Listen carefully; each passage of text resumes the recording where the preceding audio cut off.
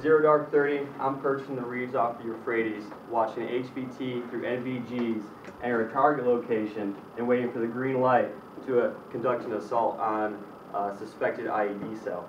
Good morning, my name is Sergeant William Morrow, United States Marine Corps, and I'm here to inform you of the challenges veterans face and the opportunities when coming from the military to student life. I spent seven, I've spent seven years in the United States Marine Corps, four years on active duty. I've done two combat deployments to Iraq with 3rd Light Armored Reconnaissance Battalion.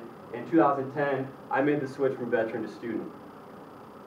Today, I will inform you of the challenges faced by switching from the military to student life, the educational benefits veterans have, and the veteran organization and services to aid that transition.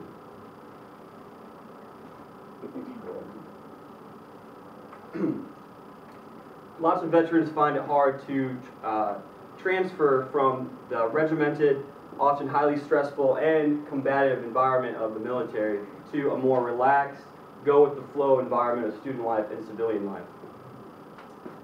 Western Michigan University student Austin Hoyt was quoted by Ursula Zerilli on MLive as saying, the transition with, from dealing with military life to real life is a very big struggle. I know tons of guys who have no idea what to do.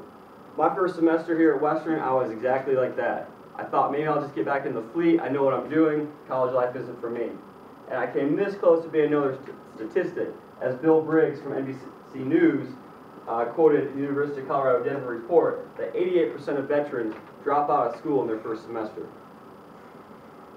Now, while in school, there are many educational benefits for veterans to obtain a degree. Most prominently, the GI Bill of Rights, and currently the post 9/11 GI Bill of Rights. In 1944, FDR enacted the Service Members Readjustment Act, commonly known as the GI Bill.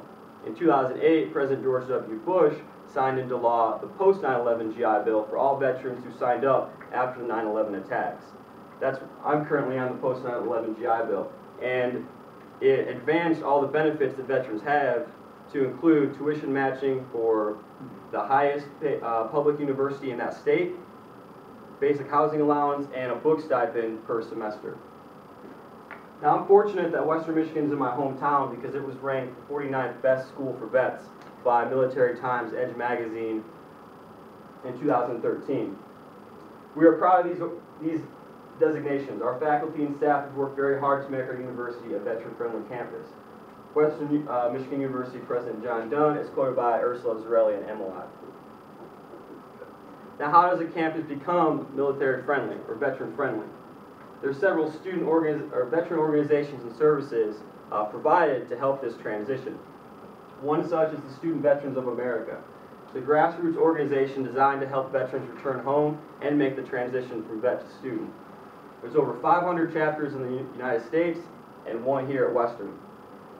You never know how society is going, going to accept you. It's a big transition. Army Sergeant Jeremy Glastetter and SVA President.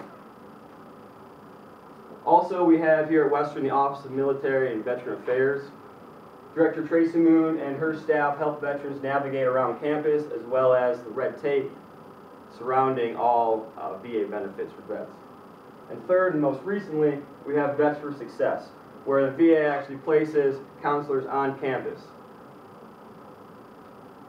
We have for Western Michigan University, KVCC, and Kellogg Community College, we have Brett Hadow, and he's quoted here as saying, "My job is to counsel how the benefits process works.